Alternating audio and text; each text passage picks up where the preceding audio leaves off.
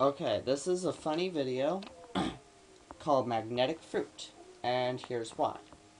Step back a little bit. Okay, go ahead and give it to him. You don't have to get that far away, just so everyone can see it. Okay, I'll show you what happened. Do it from a little bit shorter distance this time.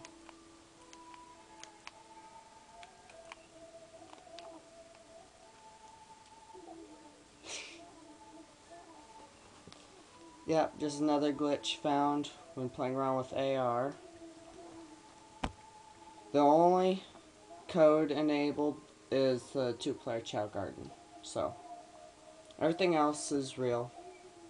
Just another funny glitch. Hope you enjoyed it.